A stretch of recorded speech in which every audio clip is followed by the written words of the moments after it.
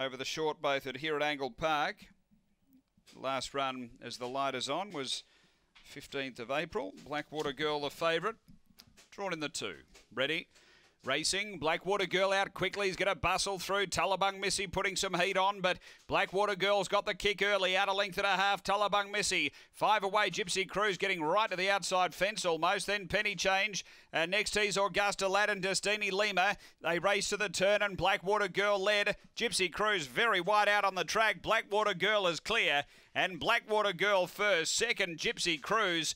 Uh, third, he's Augusta Lad, and then Tullabung Missy. They were followed by Destiny Lima and Penny Change. It was back at the end. The time here is around 23 and 30. Too good Blackwater Girl.